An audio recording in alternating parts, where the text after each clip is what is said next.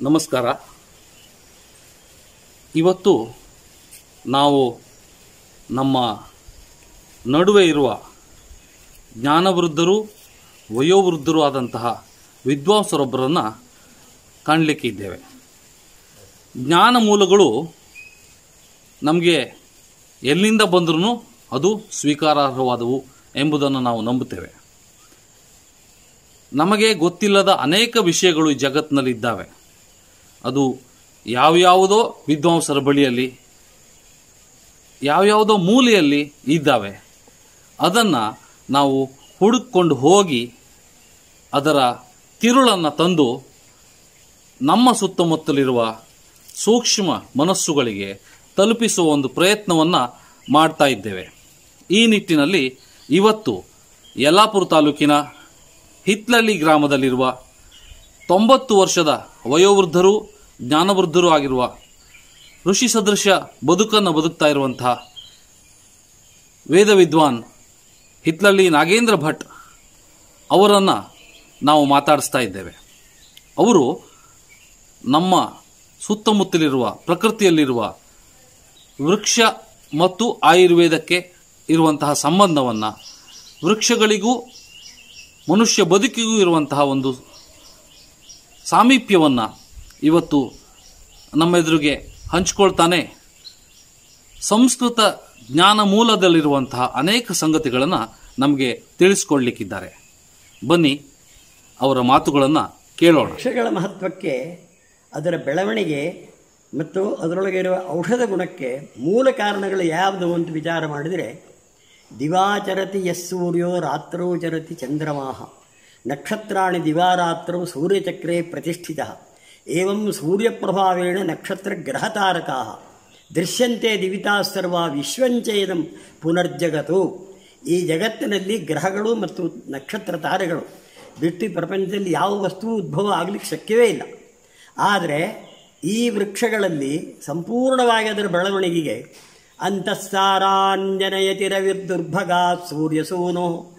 ಕ್ಷೀರೋಪೇತಾಂತು ಹಿನ ಕಿರಣ ಕಂಟಕಾಢ್ಯಾಶ್ಚ ಭೌಮಃ ವಾಗೀಷಜ್ಞೌ ಸಫಲ ವಿಫಲೌ ಪುಷ್ಪವೃಕ್ಷಾಶ್ಚ ಶುಕ್ರ ಸ್ನಿಗ್ಧಾನಿಂದು ಕಟುಕ ವಿಟಪಾನ್ ಭೂಮಿ ಪುತ್ರಶ್ಚ ಭೂ ಭೂಯ ಅಂತ ಆಚಾರ್ಯ ರಾಮರು ಹೇಳ್ತಾರೆ. ಸೂರ್ಯನಿಂದ ಒಳಗೆ ಅಂತಃಶಕ್ತಿ ಕಳ್ಕೊಂಡು ಅಂದರೆ ಪೊಳ್ಳಿರುವಂತಹ ಟೊಳ್ಳು ಟೊಳ್ಳಾಗಿರುವಂಥ ವೃಕ್ಷಗಳಷ್ಟು ಸೂರ್ಯನ ಶಕ್ತಿಯಿಂದ ಈ ಭೂಮಂಡಲದಲ್ಲಿ ಹುಟ್ಟುತ್ತದೆಯಂತೆ ಆಮೇಲೆ ಚಂದ್ರನಿಂದ ಸಂಪೂರ್ಣವಾಗಿ ಹಾಲು ಬರುವಂತಹ ವೃಕ್ಷಗಳಷ್ಟು ಚಂದ್ರನಿಂದ ಆಮೇಲೆ ಮುಳ್ಳುಗಳಿಂದ ಕೂಡಲ್ಪಟ್ಟಂತಹ ವೃಕ್ಷಗಳಷ್ಟು ಕುಜನಿಂದ ಫಲವೇ ಇಲ್ಲದೆ ಸಂತೋಷವಾಗಿ ನಮಗೆ ಕಾಣುವಂಥ ವೃಕ್ಷಗಳಷ್ಟು ಬುಧನಿಂದ ಸಫಲವಾದಂಥ ಒಳ್ಳೆಯ ಹಣ್ಣು, ಮಧುರವಾದ ಹಣ್ಣುಗಳನ್ನು ಬಿಡುವಂತಹದ್ದಷ್ಟು ಗುರುವಿನಿಂದ ಆಮೇಲೆ ಪುಷ್ಪಗಳಿಂದ ಕೂಡಲ್ಪಟ್ಟಂಥ ವೃಕ್ಷಗಳಷ್ಟು ಶುಕ್ರನಿಂದ ಆಮೇಲೆ ಈ ಕಹಿ ವೃಕ್ಷ ಮತ್ತು ಕಹಿ, ಕಷಾಯ ಇತ್ಯಾದಿಗಳೆಲ್ಲ ಕಹಿ ವೃಕ್ಷಷ್ಟು ಶನಿಯಿಂದ, ಕಷಾಯ ವೃಕ್ಷಗಳಷ್ಟು ರಾಹುವಿನಿಂದ ಅಂತ ಹೇಳಿದರು. ಈ ಗ್ರಹಗಳ ಪ್ರಭಾವದ ಮೇಲಿಂದ ಈ ಬ್ರಹ್ಮಾಂಡದಲ್ಲಿ ಆ ವೃಕ್ಷಗಳು ಹೊರಟಿದ್ದರಿಂದ ಅದು ನಮ, ನವಗ್ರಹಗಳ ಪ್ರಭಾವ ಇಲ್ಲದೆ ಹೋದರೆ ಇವನಿಗೆ ಇವನ್ ಆಯುಷ್ಯವೇ ಇಲ್ಲ, ಆರೋಗ್ಯವೇ ಇಲ್ಲ. ಹಾಗಾಗಿ ಮನುಷ್ಯನು ನೇತ್ರವತ್ ಸರ್ವಂ ಭಗವಂತನು ಬ್ರಹ್ಮನು ಸೃಷ್ಟಿ ಮಾಡುವಾಗ ನಮ್ಮ ಇಡೀ ಅಂಗಗಳಲ್ಲಿ ಮುಖ್ಯವಾದ ಅಂಗವಾದ ನೇತ್ರಕ್ಕೆ ಹೇಗೆ ಮುಚ್ಚಲನ್ನಿಟ್ಟು ವ್ಯವಸ್ಥೆ ಮಾಡಿದ್ದಾನೋ ಹಾಗೆ ಜೀವರಾಶಿಗಳು ಹುಟ್ಟುವ ಪೂರ್ವದಲ್ಲಿಯೇ ಈ ವೃಕ್ಷಗಳನ್ನು ಇವರ ಬದುಕಿಗೋಸ್ಕರವಾಗಿ ಭಗವಂತನು ಸೃಷ್ಟಿಯಲ್ಲಿ ಬೆಳೆದಿದೆ ಅಂತ ಹೇಳಿದೆ. ಇದಕ್ಕಿಂತ ಹೆಚ್ಚಿನ ಪ್ರಯೋಜನ ಇನ್ನೇನು ಬೇಕು ನಮಗೆ? ಮನುಷ್ಯ ಬಾಳೋದಾದರೆ ವೃಕ್ಷವೇ ಬೇಕು. ಆ ವೃಕ್ಷಗಳನ್ನು ಸರಿಯಾದ ರೀತಿ ನೀನು ಪಾಲನೆ ಮಾಡದೇ ಇದ್ದರೆ ಜನ್ಮಾಂತರದ ಫಲಗಳನ್ನು ಹೇಳಿದರು. ವೃಕ್ಷಚ್ಛೇದಿ ಭವೇನ್ ಮೂಕಿಹಿ. ಮೂಕನಾಗಿ ಹುಟ್ಟಲಿಕ್ಕೆ ಮೂಲ ಕಾರಣ ನೀನು ಯಾವ ಕಾರಣ ಅಂತ ಕೇಳಿದರೆ ಶಾಸ್ತ್ರದಲ್ಲಿ ಜ್ಯೋತಿಷಾಸ್ತ್ರದಲ್ಲಿ ಬರ್ತದೆ. ಯಾಕೆಂದರೆ ನಿಶಿ ನರ ಪ್ರಾಪ್ನುಯ ಅಂಧಕತ್ವಂ. ಜನ್ಮಾಂಧಸ್ಯಾರ್ಕಶುಕ್ರಸ್ತನುಪತಿ ಸಹಿತ. ಸ್ಯಾತ್ತದಾನೀ ಮನುಷ್ಯ. ಏವಂ ತಾತಾನುಜಾಂಬ ವಾಗ್ವಿಹೀನ. ವಾಗ್ವಿಹೀನನಾಗಲಿಕ್ಕೆ ಮೂಲ ಕಾರಣ ಜನ್ಮಾಂತರದಲ್ಲಿ. ಇದು ನಮ್ಮ ಜ್ಯೋತಿಷಾಸ್ತ್ರದಲ್ಲಿ ಯಾವ ದೋಷದಿಂದ ಅವನಿಗೆ ಮೂಕನಾಗಿದ್ದಾನಪ್ಪ? ಅದಕ್ಕೆ ಪರಿಹಾರ ಇದೆಯೋ ಕೇಳಿದ್ರೆ ವೃಕ್ಷವನ್ನು ಕಡದೇ ಹೀಗಾಗಿದ್ದಾನೆ. ಆಮೇಲೆ ಇನ್ನೊಂದು ಹಾಗಾದರೆ ಕಣ್ಣಿಲ್ಲದೆ ಹೋದವ ಯಾಕೆ ಹುಟ್ಟಿದ್ದಾನೆ ಅಂತ ಕೇಳಿದರೆ ಒಳ್ಳೆಯ ಸಾಧ್ವಿಯಾದ ಒಂದು ಹೆಣ್ಣು ಮಗಳು, ಅಥವಾ ಒಂದು ಒಳ್ಳೆಯ ವಸ್ತುಗಳನ್ನು ಅದು ಅತ್ಯಂತ ಕಷ್ಟದಲ್ಲಿ ಬೀಳುವ ಸಂದರ್ಭದಲ್ಲಿ ನೋಡಿಕೊಂಡು ಇವನನ್ನು ಬಲ ಇದ್ದು ಸಹ ಅದನ್ನು ತಪ್ಪಿಸಲಿಕ್ಕೆ ಅದಕ್ಕೆ ಬರಬಹುದಾದ ಆಪತ್ತನ್ನು ತಪ್ಪಿಸದೆ ನೋಡಿಕೊಂಡು ಬಂದಂಥ ಅವನು ಕಣ್ಣಿಲ್ಲದೆ ಅವನು ಹುಟ್ಟುತ್ತಾನೆ. ಇದೆಲ್ಲ ಜ್ಯೋತಿಷಾಸ್ತ್ರದಲ್ಲಿ ಬಂದದ್ದು. ಹಾಗಾಗಿ ವೃಕ್ಷಗಳ ಮಹತ್ವವನ್ನು ಹೇಳಿ ಪೂರೈಸಲಿಕ್ಕೆ ಇಡೀ ಬ್ರಹ್ಮಾಂಡದಲ್ಲಿರುವ ಎಲ್ಲ ವೃಕ್ಷಗಳೂ ನವಗ್ರಹಗಳ ಪರಿಣಾಮದಲ್ಲಿ ನಕ್ಷತ್ರಗಳ ಪರಿಣಾಮದಲ್ಲಿ ಬಂದದ್ದು ಹಾಗಾಗಿ ಅದರ ಅದನ್ನು ಬಾಳಿಸಿ ಅದನ್ನು ನಾವು ಎಷ್ಟು ಬಾಳಿಸ್ತೇವೆ ಅಷ್ಟು ನಮ್ಮ ಬಾಳು ಅಂತ ಹೇಳಿ ತಿಳ್ಕೊಂಡು ನಾವು ಅದರ ರಕ್ಷಣೆ ಮಾಡಬೇಕು. ಈಗ ಮೊದಲೆಲ್ಲ ಇದು ನಮ್ಮ ಪರಂಪರೆಯಲ್ಲಿ ಎಲ್ಲರಿಗೂ ಈ ರೀತಿಯ ಒಂದು ಜ್ಞಾನವನ್ನು ಕೊಡಲಾಗ್ತಾ ಇತ್ತು. ಹೌದು. ಆದ್ರೆ ಈಗ ಎಜುಕೇಷನ್ ಇನ್ಸ್ಟಿಟ್ಯೂಷನ್ಗಳು ಬಂದ ಮೇಲೆ ಅಕಾಡೆಮಿಕ್ ಸಂಸ್ಥೆಗಳು ಬಂದ ಮೇಲೆ ಈ ರೀತಿಯ ಜ್ಞಾನವನ್ನು ಜ್ಞಾನವನ್ನ ಹೇಳುವಂತಹ ಹೇಳಿಕೊಡುವಂತಹ ಒಂದು ಲಿಂಕ್ ನಮಗೆ ಮಿಸ್ ಆಗಿದೆ ಅಂತ ನನಗನ್ನಿಸ್ತದೆ. ಸೊ ಈ ಸಂದರ್ಭದಲ್ಲಿ ನಿಮ್ಮಂಥವರು ಜ್ಞಾನಿಗಳು ವೇದಾಧ್ಯಯನ ಮಾಡಿದವರು, ಈ ಈ ಸಂದರ್ಭದಲ್ಲಿ ನೀವು ಏನನ್ನು ಹೇಳಲಿಕ್ಕೆ ಬಯಸ್ತೀರಿ? ಇದು ಇಲ್ಲಿ ಒಂದು ಪುರಾತನ ಜ್ಞಾನ ಮತ್ತು ಆಧುನಿಕ ವಿಜ್ಞಾನ. ಇವೆರಡರ ಒಂದು ನಡುವೆ ಇರುವಂತಹ ಒಂದು ಕೊಂಡಿಯನ್ನ ನಾವೀಗ ಸಿಕ್ಸಬೇಕಾದಂತಹ, ತಪ್ಪು, ಕಳಚಿ ಹೋದಂತಹ ಕೊಂಡಿಯನ್ನ ಕೂಡಿಸಬೇಕಾದಂತಹ ಒಂದು ಕೆಲಸವನ್ನು ನಾವು ಮಾಡಬೇಕಾಗಿದೆ. ಅದಕ್ಕೆ ನೀವು ಏನು ಹೇಳಲಿಕ್ಕೆ ಬಯಸ್ತೀರಿ? ಅದಕ್ಕೆ ನೀವು ಕೇಳಿದ ಪ್ರಶ್ನೆ ಬಹಳ ಒಳ್ಳೆಯದು. ಇವತ್ತು ಬೇಕೇ ಬೇಕಾದಂಥ ವಿಷಯಗಳಿದೆ. ಯಾವುದನ್ನು ಬಿಟ್ಟರೆ ನಮಗೆ ನಾವು ಅಧೋಗತಿ ಹೋಗ್ತೇವೋ, ಅದನ್ನು ಒಂದು ಊರ್ಜಿತ ಸ್ಥಿತಿಯಲ್ಲಿ ಇಡುವಂಥ ಪ್ರಶ್ನೆ ಇದೆ. ಬಹಳ ಮುಖ್ಯವಾದ ವಿಷಯ. ಆಚಾರ್ಯ ವರಾಮಹಿರರು ಒಂದು ನೂರ ನಾಲ್ಕು ಅಧ್ಯಾಯಗಳಲ್ಲಿ ಬ್ರಹ್ಮಾಂಡದಲ್ಲಿ ಸಕಲ ವ್ಯವಹಾರಗಳಿಗೆ ಬೇಕಾಗುವಂಥದ್ದನ್ನು ಆರಿಸಿದ್ದಾರೆ. ಅದರೊಳಗೆ ಇವತ್ತಿನ ಕಾಲದಲ್ಲಿ ವಿಚಾರವಂತರು, ವಿದ್ಯಾವಂತರು ಅದನ್ನು ನೋಡಿ ಯಾವ್ಯಾವುದು ಇವತ್ತು ಅವಶ್ಯ ಇದೆ, ಅದನ್ನು ನಾವು ತಗೊಂಡು ಅದನ್ನು ಪಠ್ಯಪುಸ್ತಕವನ್ನಾಗಿಯೋ ಅಥವಾ ಅವರಿಗೆ ಪ್ರಯೋಗಾತ್ಮಕವಾಗಿ ಅದನ್ನು ಅಭ್ಯಾಸ ಮಾಡಿಸಿದರೆ ಮೊದಲನೇ ಆಗಬಹುದು. ಯಾಕೆಂದರೆ ಪ್ರಪ್ರಥಮವಾಗಿ ಅವರು ಹೇಳೋದು ಯಾವುದು ಕೇಳಿದ್ರೆ, ಇದು ಆಧ್ಯಾತ್ಮಿಕ ಕ್ಷೇತ್ರ, ನಮ್ಮ ಭಾರತೀಯ ಈ ಕ್ಷೇತ್ರ ಎನ್ನುವುದು. ಸೂರ್ಯನ ಅಕ್ಷಾಂಶ ಕಿರಣಗಳಲ್ಲಿ ಏಳು ಕಿರಣಗಳು.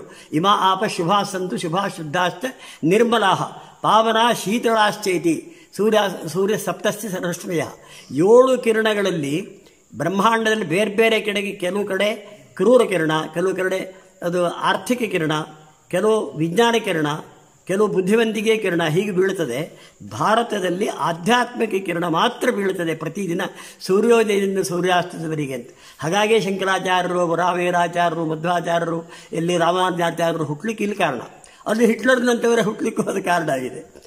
ಹಾಗಾಗಿ ಈ ಅಧ್ಯಾಯಗಳಲ್ಲಿ ಇರುವಂತಹ ವಿಚಾರಗಳನ್ನು ವಿಮರ್ಶೆ ಮಾಡಿ, ಅದನ್ನು ನೋಡದೇ ಇದ್ದರೆ ಬ್ರಹ್ಮಾಂಡದಲ್ಲಿ ಇನ್ನು ಮುಂದೆ ಸೂರ್ಯಚಂದ್ರರು ಇರುವಲ್ಲಿವರೆಗೂ, ಈ ಜಗತ್ತಿರುವಲ್ಲಿವರೆಗೂ ತನ್ನ ಈ ಬೃಹತ್ ಸಂಹಿತೆ ಎನ್ನುವಂತಹ ಸಂಹಿತೆಯನ್ನು ನೋಡದೇ ಇದ್ದರೆ ಅವನು ಏನಾಗುತ್ತಾನೆ ಹೇಳೋದನ್ನು ಅವರು ಹೇಳಿಟ್ಟಿದ್ದಾರೆ. ಅಪಚಾರೇಣ ನರಾಣಾಂ ಉಪಸರ್ಗಾತ್ ಪಾಪ ಸಂಚಯಾತ್ ಭವತಿ, ತಮ್ಮ ಸೂಚಯಂತಿ ದಿವ್ಯಭೌಮಾಂತರಿಕ್ಷ ಉತ್ಪಾತ ಈ ಬ್ರಹ್ಮಾಂಡವನ್ನು ಸಂಪೂರ್ಣವಾಗಿ ನಮ್ಮ ಕಡೆ ಸೃಷ್ಟಿ ಮಾಡಿ ಮನುಷ್ಯನೇ ಇದಕ್ಕೆ ಹೆಚ್ಚಿನ ವ್ಯಕ್ತಿ ಇವನ ಹತ್ರ ಕೊಡಬಹುದು ಅಂತ ಬ್ರಹ್ಮ ಕೊಟ್ಟನಂತೆ. ಅದರಲ್ಲಿ ಅಪಚಾರ ಮಾಡಿದ್ದರಿಂದಲೇ ಈ ಪರಿಸ್ಥಿತಿ ಆಗ್ತದೆ. ಅದನ್ನು ಮಾಡುವಂಥ ಕೆಲಸ ಇವರದ್ದೇ ಆದ್ದರಿಂದ ಪ್ರಾಚೀನ ಗ್ರಂಥಗಳನ್ನು ಮತ್ತು ಈ ನವೀನ ವಿಜ್ಞಾನದ ಕೆಲವೊಂದು ಗ್ರಂಥಗಳನ್ನು ಎರಡನ್ನೂ ಕೂಡಿಸಿ, ಅಂದರೆ ಹಳೆ ಬೇರು, ಹೊಸ ಚಿಗುರು ಇದ್ದಂತೆ ಈ ಸಮನ್ವಯ ಮಾಡಿ ಈ ಮಕ್ಕಳಿಗೆ ಅದನ್ನು ಅಭ್ಯಾಸಕ್ಕೋಸ್ಕರವಾಗಿ ಕೊಟ್ಟರೆ ಒಳ್ಳೆಯದಾಗಬಹುದು ಅಂತ ನನ್ನ ಅಭಿಪ್ರಾಯ. ಇಲ್ಲಿ ಒಂದು ಸಮಸ್ಯೆ ಬರ್ತದೆ. ಏನು ಕೇಳಿದ್ರೆ ಇವತ್ತಿನ ಕಾಲಮಾನದಲ್ಲಿ ಎಲ್ಲವನ್ನು ಜಾತಿಯ ದೃಷ್ಟಿಯಿಂದ ಎಲ್ಲವನ್ನು ಮೇಲ್ವರ್ಗ ಕೆಳವರ್ಗ ವೈದಿಕ ಅವೈದಿಕ ಈ ರೀತಿಯ ಚರ್ಚೆಗಳೆಲ್ಲ ಇರ್ತಾ ಇದ್ದಾವೆ. ಈ ಹಂತದಲ್ಲಿ ನನ್ನ ಪ್ರಶ್ನೆ ಏನು ಕೇಳಿದ್ರೆ ಇದು ಎಲ್ಲರಿಗೂ ಮುಟ್ಟುವಂತಾಗಬೇಕು. ಈ ಕೆಲವೊಂದು ಸಲ ಏನು ಬ್ರಾಹ್ಮಣರ ಬಗ್ಗೆ ಒಂದು ದೊಡ್ಡ ಅಪರ, ಅಪವಾದ ಏನಿದೆ ಅಂತ ಕೇಳಿದ್ರೆ, ಇವರು ಎಲ್ಲಾ ವಿದ್ಯೆಗಳನ್ನು ತಮ್ಮ ಹತ್ರ ಇಟ್ಕೊಂಡ್ರು. ಉಳಿದವರಿಗೆಲ್ಲ ಹೆದರ್ಸಿದ್ರು. ಉಳಿದವರನ್ನ ಕನಿಷ್ಠವಾಗಿ ನೋಡಿದ್ರು ಅನ್ನುವಂತ ಒಂದು ಹೇಳಿಕೆ ಕಂಡು ಬರ್ತವೆ. ಈ ಈ ಈ ವಿಷಯವನ್ನು ನೀವು ಸ್ವಲ್ಪ ಸ್ಪಷ್ಟೀಕರಿಸಬಹುದು. ನಿಜವಾಗಿಯೂ ನಮ್ಮಲ್ಲಿ ಆ ಜಾತಿ ಭೇದ ಅನ್ನೋದು ಇತ್ತೆ. ಅಥವಾ ಕೆಳ ಜಾತಿಯ ಕೆಳವರ್ಗದ ಒಬ್ಬ ಬಂದು ಸಂಸ್ಕೃತ ಅಭ್ಯಾಸ ಮಾಡಬಹುದೇ ಈ ಎಲ್ಲ ವಿಷಯಗಳನ್ನ ಅಭ್ಯಾಸ ಮಾಡಬಹುದೇ? ಆ ಆ ರೀತಿಯ ಅವಕಾಶಗಳು ವೇದ ಕಾಲದಿಂದಲೂ ಇತ್ತೆ ಅನ್ನೋದ್ರ ಬಗ್ಗೆ ನೀವು ಸ್ವಲ್ಪ ಬೆಳಕು ಚೆಲ್ಲಬೇಕು ಅಂತ ವೇದ ಕಾಲದಲ್ಲಿ ಇತ್ತದು. ಇದ್ರೆ ಹೇಗಿತ್ತು ಅಂತ ಕೇಳಿದ್ರೆ ಗುಣಕರ್ಮ ವಿಷಯ ವಿಭಾಗತಃ ಅವರವರ ಗುಣದ ಮೇಲಿಂದ ಅವರಿಗೆ ಇವರು ಕ್ಷತ್ರಿಯರು. ಒಳ್ಳೆ ವಿಚಾರವಂತ. ಎಲ್ಲ ನೋಡಿದ್ರು ಅವನು ಇದು ಮುಗಿಯೋದೇ ಇಲ್ಲ. ಅವ್ನು ಯಾವ್ದಾದ್ರು ಒಂದು ಸಂದರ್ಭ ಬಂತು ಅಂತ ಕೈ ತೋಳು ಮುಗಿಸಿ ಹೋಗ್ತಾನೆ. ಅಂಥವ್ರಿಗೆ ಕ್ಷತ್ರಿಯ ಅಂತ ಹೇಳಿದರು. ಮತ್ತು ಕೆಲವೊಂದು ವಸ್ತುಗಳನ್ನು ವ್ಯಾಪಾರ ಮಾಡಲಿಕ್ಕೆ ವೈಶ್ಯ ಅಂತ ಇಟ್ಟರು ಕೆಲವು ಸದಾ ಕಾಲದಲ್ಲಿ ನೇಗಿಲನ್ನು ಹಿಡಿದು ಅನ್ನವನ್ನು ತಯಾರಿ ಮಾಡಿದವರು ಶೂದ್ರರು ಅಂತ ಇಟ್ಟರು ಆಮೇಲೆ ಬ್ರಾಹ್ಮಣರು ಅಂತಂದರೆ ಅದು ಧರ್ಮ ಕರ್ಮವನ್ನು ವಿಚಾರ ಮಾಡಿ ಜನರಿಗೂ ಬೋಧಿಸೋದ್ರ ಬಗ್ಗೆ ಇಟ್ಟರು ಇಷ್ಟೇ ಹೊರತು ಈ ವಸ್ತುಸ್ಥಿತಿ ಜಾತಿಯ ಭೇದವನ್ನು ಇಡಲಿಲ್ಲ. ಜಾತಿ ಸಮೇತ ನಮಗೆ ಬ್ರಾಹ್ಮಣರಲ್ಲೇ ಜಾತಿ ಇಲ್ಲ. ಈ ನಮಗೆ ಅದಕ್ಕೆ ನೋಡಿದ್ರೆ ನಮಗೆ ಗೊತ್ತಾಗ್ತದೆ. ದ್ವಿಜತ್ವಂ ವಿಧ್ಯನುಷ್ಠಾನಾತ್ ವಿಪ್ರತ್ವಂ ವೇದಪಾಠಕ ಬ್ರಹ್ಮಜ್ಞಂ ಬ್ರಹ್ಮವಿತ್ತೇಜ ಇತಿ ವೇದಾಂತ ಡಿಂಬ ಬ್ರಾಹ್ಮಣರಲ್ಲೇ ನಾಲ್ಕು ಜಾತಿ ಇದ್ದಾರೆ ಅಂತ ಹೇಳಿ ನಮಗೆ ಹೇಳಿದ್ದಿದೆ. ಯಾವುದಂತ ಕೇಳಿದರೆ ಅನುಷ್ಠಾನವನ್ನು ಮಾಡುವಂಥಮ್ಮ ದ್ವಿಜತ್ವಂ ವಿಧ್ಯನುಷ್ಠಾನಾತ್ ನಿತ್ಯ ಅನುಷ್ಠಾನ ಮಾಡುವ ಅವು ದ್ವಿಜ ವಿಪ್ರತ್ವಂ ವೇದ ಪಾಠಕ. ವೇದವನ್ನು ಹೇಳ್ಕೊಟ್ಟದ ಬ್ರಾಹ್ಮಣರು ಮಕ್ಕಳಿಗೆ ಅವರಿಗೆ ಹೇಳ್ಕೊಡೋ, ಅವ ವಿಪ್ರ ಅಂತ ಹೆಸರು. ಬ್ರಹ್ಮಜ್ಞಾನ ಆದಂಥವು ಬ್ರಾಹ್ಮಣ. ಬ್ರಾಹ್ಮಣರಲ್ಲಿಯೂ ಸಮೇತ, ನಾವು ಬ್ರಾಹ್ಮಣರು ಅಂತ ಹೇಳಿಬಿಟ್ರೆ ಬ್ರಾಹ್ಮಣತ್ವ ಇವರಿಗೆ ಇಲ್ಲ. ಹಾಗಾಗಿ ಗುಣಕರ್ಮದ ಮೇಲಿಂದ ಕೆಲವೊಂದು ಕಾಲದಲ್ಲಿ ಅದು ಬಂದೇ ಹೊರತು, ಅದು ಅಜ್ಜ ಕೋಲು ಹಳು ಕೊಟ್ಟರೆ ಇವು ಕುದುರೆ ಹಳು ಕುಡಿಲಿಕ್ಕೆ ಕಳಿಗ್ತದೆ ಮುಂದೆ ಅದು ಇಷ್ಟೇ ಹೊರತು ಜಾತಿಯ ವಿಷಯದಲ್ಲಿ ಸರ್ವಥಾತ್ಮನ ಇಲ್ಲ. ಇನ್ನು ಕೆಲವರಿಗೆ ನಿಮ್ಮ ಪ್ರಶ್ನೆಯಲ್ಲಿ ಅದನ್ನು ವೇದವನ್ನು ನಾವೇ ಹೇಳಬೇಕು ಬಾಕಿಯವರಿಗೆ ಹೇಳಬಾರದು ಅಂತ ಹೇಳಿದರು. ಯಾರಿ ಹೇಳಬಾರದು ಅಂತ ಹೇಳಿದರು? ಸಂಸ್ಕೃತಾದಿ ಶಾಸ್ತ್ರಗಳನ್ನು ವೇಕ ವ್ಯಾಕ, ಅಧೀತ ವ್ಯಾಕರಣ ವ್ಯಾಕರಣ ಶ್ರುತಿ ಇತ್ಯಾದಿಗಳನ್ನು ತಿಳಿದವನಿಗೆ ಇದರ ಹಕ್ಕು ಅಂತ ಹೇಳಿದರು. ಯಾಕೆ ಕೇಳಿದ್ರೆ, ಸಣ್ಣ ಮಗುವಿಗೆ ಒಂದು ಬ್ಲೇಡನ್ನು ಕೊಟ್ಟರೆ ಅವನ ಗತಿ ಏನಾಗ್ತದೆ? ಅವನಿಗೆ ಅದರ ಪರಿಣಾಮ ಇಲ್ಲದೆ ತನ್ನಷ್ಟಕ್ಕೆ ಇದು ಮಾಡ್ತಾನೆ. ಹಾಗೆ ಶಾಸ್ತ್ರವನ್ನು ಪೂರ್ಣ ಜ್ಞಾನ ತಿಳ್ಕೊಂಡು ವೇದಾಧ್ಯಯನ ಇಟ್ಕೊಂಡವ್ರ ಹತ್ರ ಇರಲಿ ಇದು ಅಂತ ಹೇಳಿದರೆ ಹೊರತು. ಅದನ್ನು ಕಲಿಬೇರೆ ಬೇಡ ಅಂತ ಹೇಳಿ ಯಾರಿಗೂ ಹೇಳಲಿಲ್ಲ ಅವರು. ಪ್ರತಿಯೊಬ್ಬರಿಗೂ ರಾಷ್ಟ್ರೀಯ ಜಪವನ್ನು ಕೊಟ್ಟರು ಯಾಕೆಂದರೆ ಇದು ಬುದ್ಧಿಯ ಬಲ ಮುಂದೆ ನಮಗೆ ಅನೇಕ ರೀತಿಯ ಸಮಸ್ಯೆಗಳಿಗೆ ಅನುಕೂಲ ಆಗ್ತದೆ. ಬುದ್ಧಿಯ ಬುದ್ಧಿಯ ಪ್ರಚೋದನೆ ಇವರಿಗೆ ಆಗುವುದಿಲ್ಲ ಹೇಳೋ ಉದ್ದೇಶದಿಂದ ಎಲ್ಲ ರಾಷ್ಟ್ರದ ಎಲ್ಲ ಜನಕ್ಕೂ ಸಮೇತ ಒಂದು ಗಾಯತ್ರಿಯನ್ನು ಕೊಟ್ಟಿದ್ದಾರೆ ನಮ್ಮ ಪೂರ್ವಜರು. ಸೊ ಗಾಯತ್ರಿಯನ್ನು ಯಾರು ಬೇಕಾದರೂ ಮಾಡಬಹುದು ಯಾರು ಬೇಕು ಮಾಡಬಹುದು ವೈಶ್ಯರವರಿಗೂ ಮಾಡಬಹುದು ಶೂದ್ರಾದಿಗಳಿಗೆ ಅದನ್ನು ಬಿಟ್ಟರು ಅದು ಯಾಕೆ ಬಿಟ್ಟರು ಅಂತ ಕೇಳಿದ್ರೆ ಅದಕ್ಕೊಂದು ನನಗೆ ವೈಜ್ಞಾನಿಕವಾದ ಕಾರಣವೇ ಕಾಣುತ್ತದೆ. ಪ್ರಾತಃ ಕಾಲದಲ್ಲಿ ಅವರು ದನಕರಗಳ ಸಮೀಪದಲ್ಲಿರ್ತಾರೆ. ಅದರ ರಕ್ಷಣೆ ಮಾಡಬೇಕು. ಅವರು ನೇಗಿಲು ಕಟ್ಕೊಂಡು ಹೋಗಬೇಕು. ಆಗ ಇವು ಗಾಯತ್ರಿ ಮಾಡ್ತಾ ಕೂತ್ಕೊಂಡ್ರೆ ಅದು ಆಗ ಅವಧಿಗೆ ಆಗೋದಿಲ್ಲ.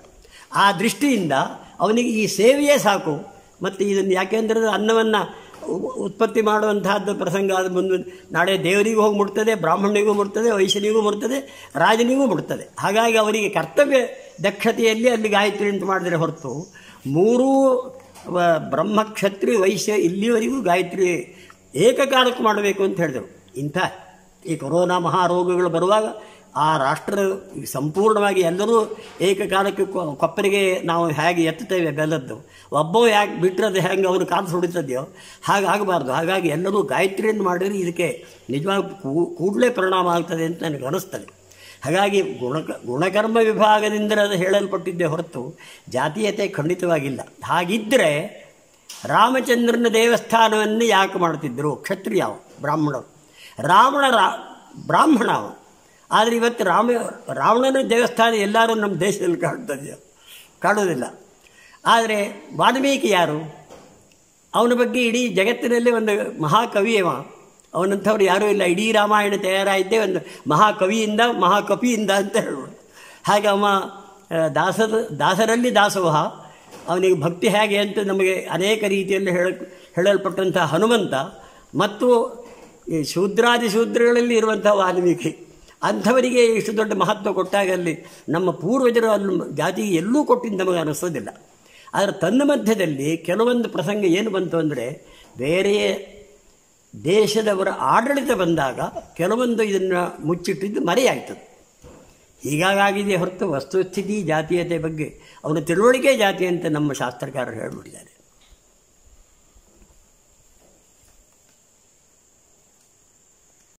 ಅಪಚಾರೇಣ ನರಾಣಾಂ ಉಪಸರ್ಗಾತ್ ಪಾಪ ಸಂಜಯಾತ್ ಭವತಿ.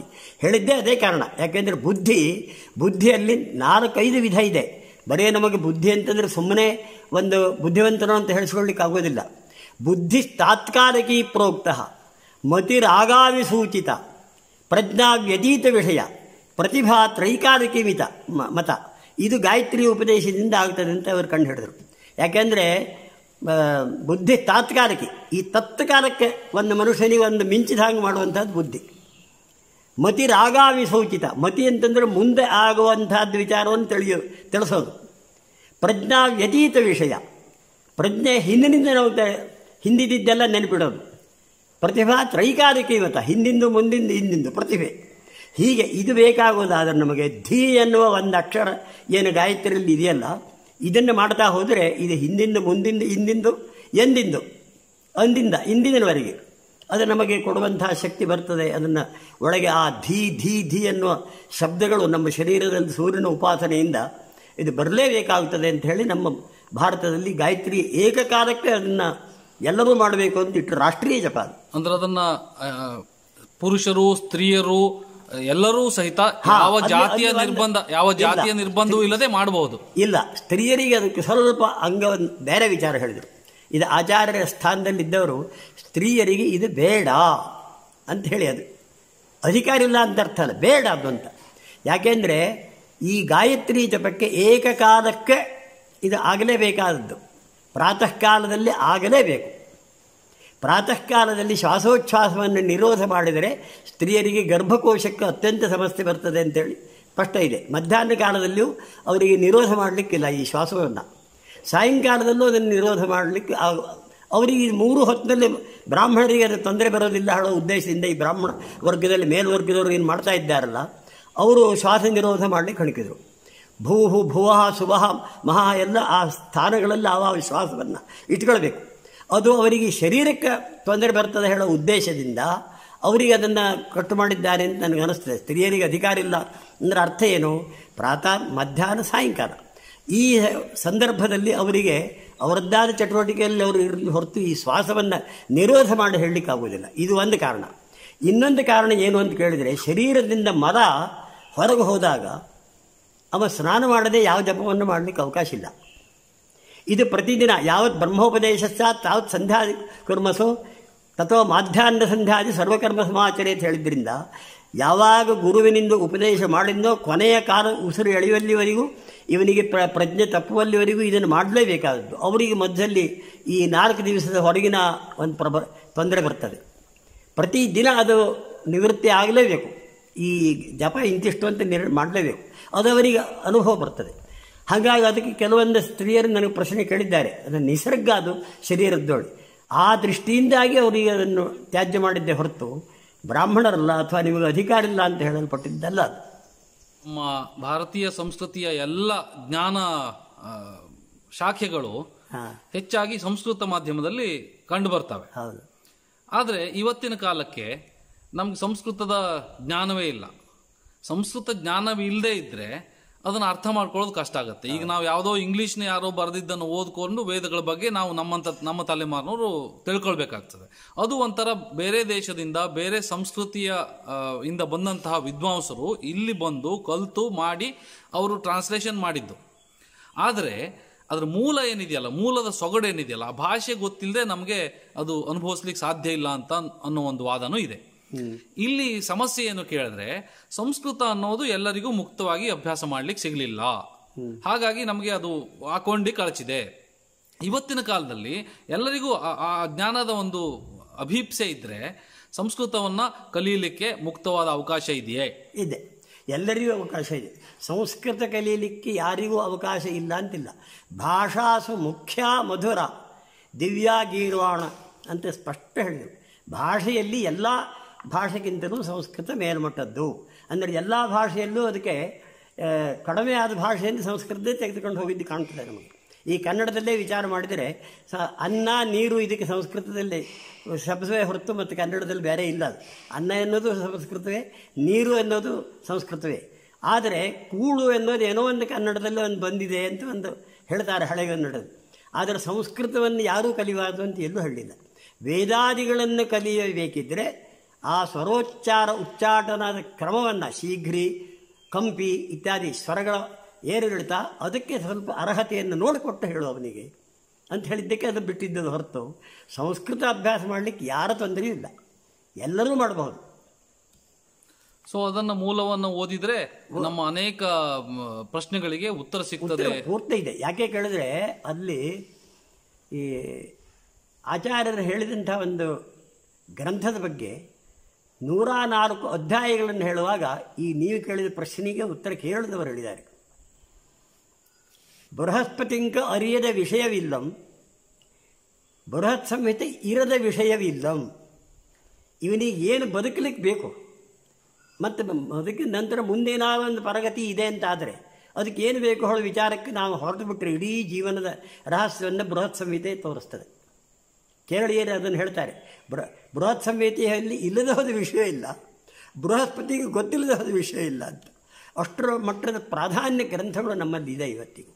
ಏನು ನೀವು ಕೇಳ್ತೀರಿ ಅದಷ್ಟು ನಮಗೆ ಉತ್ತರ ಸಿಗ್ತದೆ. ಆದರೆ ನಮಗದನ್ನು ಹೇಳ್ಕೊಡೋರು ಅಥವಾ ಹೀಗೆ ಮಾಡು ಹೀಗೆ ಮಾಡು ಇದನ್ನ ಓದು ಇದು ಮಾಡು ಹೇಳುವಂತ ವಿದ್ವಾಂಸರನ್ನು ಅದು ಹುಡುಕ್ಬೇಕು. ಯಾಕೆಂದರೆ ಯಾವ ಸಾಮಾನು ಯಾವ ಅಂಗಡಿಯಲ್ಲಿ ಸಿಗ್ತದೆ ನೋಡಿ ನಾವು ಸಾಮಾನು ತರಬೇಕು. ಈಗ ಎಲ್ಲ ಈಗ ಜಗತ್ತಿನಲ್ಲೇ ಅತ್ಯುತ್ತಮವಾದ ಶಾಬು ಬಾರು ಅಂತ ಬರ್ಕೊಂಡಿದೆ. ಎಲ್ಲ ವಿಷಯಕ್ಕೂ ಅತ್ಯುತ್ತಮ ಇದು ಹೊಳೆದ್ರೆ ಉಪಯೋಗಿಸಲು ಬರೋದಿಲ್ಲ ವಸ್ತ್ರ ತೊಳಿಲಿಕ್ಕೆ ಮಾತ್ರ ಅದನ್ನು ಉಪಯೋಗಿಸೋದು ಹಾಗೆ ನಮಗದು ಬೇಕು ಅಂತಾದರೆ ಎಲ್ಲಿ ಕಲಿತವರಿದ್ದಾರೆ? ಅಲ್ಲಿ ನಾವು ಹೋಗಿ ಹಿಂದೆ ಹಿಂದವರು ಅದನ್ನೇ ಮಾಡ್ತಿದ್ದರು ಗುರುಸ್ಥಾನವನ್ನು ಹುಡುಕಿ ಗುರುಗಳಲ್ಲಿ ಎರಡು ವಿಧಾನ. ಈ ನೀವು ಕೇಳಿದ್ದಕ್ಕೆ ಹೇಳಲೇಬೇಕಾಯಿತು. ಶಿಷ್ಯ ಚಿತ್ತಾಪಹಾರಕ, ಶಿಷ್ಯ ವಿತ್ತಾಪಹಾರಕ ಅಂತ. ಕೆಲವು ಗುರುಗಳು ಶಿಷ್ಯರು ಎಷ್ಟು ದುಡ್ಡು ಕೊಡ್ತಾರೆ ನೋಡುವ ಗುರುಗಳು ಇದ್ದಾರೆ. ಅಂಥವ್ರನ್ನೆಲ್ಲ ಗುರುಗಳು ಅಂತ ಹೇಳೋದಿಲ್ಲ ಅದಕ್ಕೆ. ಶಿಷ್ಯನ ಚಿತ್ತವನ್ನು, ಈಗ ನೀವು ಏನು ಕೇಳ್ತೀರಿ ಅದನ್ನು ಕೊಡುವಂಥದ್ದು ವಿಚಾರ ಮಾಡಿ. ಅವನಿಗೆ ಕೊಡುವ ಅವನು ಗುರು. ಹಾಗಾಗಿ ಅದನ್ನು ಹುಡುಕಬೇಕು. ಯಾಕೆಂದರೆ ಈಗ ಯಾಕೆ ಸಂಸ್ಕೃತ ಇಷ್ಟು ಸ್ವಲ್ಪ ಒಂದೇ ಏಕತ್ರವಾಗಿ ಆಯಿತು ಬಾಕಿ ಎಲ್ಲ ಇಂಗ್ಲೀಷ್ ಇಂಗ್ಲೀಷ್, ಹಿಂದಿ, ಎಲ್ಲ ದೊಡ್ಡ ದೊಡ್ಡ ಪ್ರಮಾಣದಲ್ಲಿ ಮುಂದೆ ಬೆಳೆಯಲಿಕ್ಕೆ ಕಾರಣ ಏನಾಯಿತು ಅಂದರೆ ಸ್ವಲ್ಪ ಪಾಂಡಿತ್ಯ ಬೇಕು, ಅದರಲ್ಲಿ ನಿಷ್ಠೆ ಬೇಕು ಮತ್ತು ಅದರೊಳಗೆ ಇರುವಂತಹದ್ದು ರತ್ನಗಳು ಎಲ್ಲ ಕಡೆ ಹೋದಲ್ಲೆಲ್ಲ ಸಿಗೋದಲ್ಲ ಅದು. ಅದು ನಾವು ಹುಡುಕಿ ಎಲ್ಲಿ ಇದೆಯೋ ನೋಡಿ ತಂದ ಹಾಗೆ ಸಂಸ್ಕೃತದಲ್ಲಿರೋ ಮೌನ್, ಮೌಲ್ಯ ಅದು ಅಷ್ಟು ಮೇಲ್ಮಟ್ಟದ್ದಾದ್ದರಿಂದ ಅರ್ಹತೆಯನ್ನು ನಾವು ಪಡ್ಕೊಳ್ಬೇಕು ಅದಕ್ಕೆ. ಯಾಕೆಂದರೆ ಈಗ ಒಬ್ಬ ಬಂಗಾರ ಒಂದು ತೊಲೆ, ಬಂಗಾರ ತಾನು ತಗೊತ್ತೇನೆ ಅಂತ ಹೇಳಬೇಕಿದ್ರೆ ಅವನಿಗೆ ಅದಕ್ಕೆ ಬೇಕಾಗುವಷ್ಟು ರೊಕ್ಕ ಅವನ ಕೈಲಿ ಇಟ್ಕೊಂಡೇ ಕೇಳಬೇಕೇ ಹೊರತು. ಬರೀ ಎರಡು ಗುಂಜಿ ಬಂಗಾರದ ಬಗ್ಗೆ ಎರಡು ಕಡೆ ಸೊಂಟಕ್ಕೆ ಸಿಕ್ಕೊಂಡು ಅವನ ಹತ್ರ ಬಂಗಾರ ಕೇಳಲಿಕ್ಕೆ ಏನು ಕೊಡ್ತಾರೆ? ಹಾಗಾಗಬಾರ್ದು. ಇವನ ಅರ್ಹತೆಯೂ ಬಹಳ ಮುಖ್ಯ ಇದೆ ಇಲ್ಲಿ. ಇವನು ತಾನು ಕಲೀಲೇಬೇಕು. ಅಹಶ್ಚರಾತ್ರಿಷ್ಟ ಅದನ್ನು ವ್ಯವಸ್ಥೆ ಮಾಡಿ ತಾನು ಕಲಿತೇನೆ ಹೇಳುವಂಥ ನಿಷ್ಠೆ ಇವನಲ್ಲಿ ಬೇಕು. ಬರೀ ಬೇರೆ ಕೆಲವು ಭಾಷೆಗಳು ಸಹಜವಾಗಿ ಆದರೂ ಅವನಿಗೆ ನಿತ್ಯ ಬಳಿಕಲ್ ಬಳಕಲ್ಲಿ ಇದ್ಬಿಡ್ತದೆ, ಆಗ್ಬಿಡ್ತದೆ. ಸಂಸ್ಕೃತ ಆಗಿಲ್ಲ ನಿಶ್ಚಿತವಾಗಿ ಅದಕ್ಕೆ ಮೊದಲು ಕೋಶ. ಕೋಶ ಅಂದರೆ ಅಮರ ಅಮರ ಕೋಶ. ಆಮೇಲೆ ಅದಕ್ಕೆ ಎತ್ತಿ, ಒಂದನೇ ಎತ್ತಿ, ಎರಡನೇ ಎತ್ತಿ, ಮೂರನೇ ಎತ್ತಿ ಹೀಗೆ ಅದನ್ನು ಮಾಡಿದೆ ಕಡೆಗೆ ಸಾಹಿತ್ಯ. ಸಾಹಿತ್ಯದಲ್ಲಿ ನೋಡ್ಲಿಕ್ಕೆ ಹಡಕಿದ್ರೆ ಅದು ಬೇಡ. ಅದ್ಭುತವಾಗಿ ನಮಗದನ್ನು ಏನು ಆ ಸಂಸ್ಕೃತ ಶಬ್ದದಲ್ಲಿ ಭಾಷಾಸು ಮುಖ್ಯ ಮಧುರ ಹೇಳಿದ್ದು ನಮಗೆ ಸತ್ಯ ಕಾಣುತ್ತೆ. ಸಾಹಿತ್ಯದಲ್ಲೂ ಒಂದೊಂದು ವಿಭಾಗಗಳು ಬರ್ತದೆ. ಜಯತ್ವದಭ್ರ ವಿಭ್ರಮ ಭ್ರಮದ್ಭುಜಂಗಮ ಸ್ಫುರ ಧಗದ್ಧಗಧ್ವ ನಿರ್ಗಮತ್ಕರಾಲ ಬಾಲ ಹವ್ಯವಾಟ್ ಧಿಮಿ ಧಿಮಿ ಧಿಮಿದ್ಧಿಮಿದ್ಧಿಮಿಧ್ವನನ್ ಮೃದಂಗ ತುಂಗ ಮಂಗಲಧ್ವನಿ ಕ್ರಮ ಪ್ರವರ್ತಿತ ಪ್ರಚಂಡ ತಾಂಡವ ಶಿವ. ಎಷ್ಟು ಆನಂದ ಆಯಿತು ಅದು. ದೃಷದ್ವಿಚಿತ್ರತಲ್ಪಯೋರ್ಭುಜಂಗ ಮೌಕ್ತಿಕಸ್ತ್ರಜೋ ಸುಹೃದ್ವಿ ಪಕ್ಷ ಪಕ್ಷಯೋ ತೃಣಾರವಿಂದ ಚಕ್ಷುಷ ಪ್ರಜಾಮಹೀ ಮಹೇಂದ್ರಯೋ ಸಮಂತಮ ಪ್ರವರ್ತಯಂತ ಕದಾ ಸದಾ ಶಿವಂ ಭಜೆ. ಏನು ಆ ಸ್ವರದಲ್ಲಿರುವ ಭಾವ? ಇದು ನಿಷ್ಠೆ ಬೇಕು ಮತ್ತು ಉಚ್ಚರಬೇಕು ಉಚ್ಚಾರ ಬೇಕು. ಇದನ್ನು ಗಟ್ಟಿ ವ್ಯವಸ್ಥೆ ಮಾಡುವಂಥ ಕಲ್ಪನೆ ಇಟ್ಟುಕೊಂಡಾಗ ಮತ್ತು ಒಂದು ವರ್ಷ ಅದನ್ನು ಅಭ್ಯಾಸ ಮಾಡಿದಾನೆ ಅಂದರೆ ಅವನ ಮನಸ್ಸು ಕಡಿ, ಅದನ್ನು ಬಿಡಬೇಕು ಅಂತ ಅನ್ಸೋದಿಲ್ಲ ಅದು ಅಂತಲ್ಲ. ಅದು ಅಡ್ಡು ಹಿಡಿದ ಹಾಗೆ ಅದು. ಅಷ್ಟಿದೆ. ಅದು ಮಾಡಬೇಕು, ಪ್ರಯತ್ನ ಮಾಡಬೇಕು ಸಾಧನೆ ಇಲ್ಲದೆ ಹೋದರೆ ಯಾವ ಮನುಷ್ಯನಿಗೂ ಏನು ಕೆಲಸ ಮಾಡಲಿಕ್ಕೆ ಆಗುವುದಿಲ್ಲ. ಪ್ರ ಮೊದಲನೇ ಸಾಧನೆ. ಭಾಳ ಒಳ್ಳೆಯ ವಿಚಾರಗಳನ್ನು ಇಷ್ಟೊತ್ತು ತನಕ ನಮ್ಮೊಂದಿಗೆ ಹಂಚ್ಕೊಂಡ್ರಿ. ನಮ್ಮ ನೋಡುಗರಿಗೆ ಇದರಿಂದ ಒಂದಷ್ಟು ಪ್ರೇರಣೆ ಆಗುವಂತಹ ಮಾತುಗಳನ್ನು ಆಡಿದ್ರಿ ನಿಮಗೆ ಸಾಷ್ಟಾಂಗ ನಮಸ್ಕಾರಗಳು. ನಿಮ್ಮಂಥ ವಿದ್ವಾಂಸರು ನಮ್ಮ ನಾಡಿನ ನಮ್ಮ ಎಲ್ಲ ಬಾಂಧವರ ಬೆಳಕು, ಬೆಳಕಿನ ಹಾಗೆ ನೀವು ಇದ್ದೀರಿ ತೊಂಬತ್ತು ವರ್ಷ ನಿಮಗೆ. ಇಷ್ಟೊಂದು ದೀರ್ಘವಾಗಿ, ಇಷ್ಟೊಂದು ಸುಲಲಿತವಾಗಿ ನೀವು ಮಾತಾಡಿದ್ದು ತುಂಬ ಖುಷಿಯಾಯಿತು. ನಿಮಗೆ ಸಾಷ್ಟಾಂಗ ನಮಸ್ಕಾರಗಳು. ಲೋಕ ಸಮಸ್ತ ಭವಂತು. ಎಲ್ಲರಿಗೂ ಒಳ್ಳೆಯದಾಗಲಿ ಅಂತ ನಾವು ಬಯಸ್ತಾ ನಮ್ಮ ಆಯುಷ್ಯವನ್ನು, ಇನ್ನು ಮುಂದಿನ ಆಯುಷ್ಯವನ್ನು ಕಳೀತಾ ಇರೋವ Bye.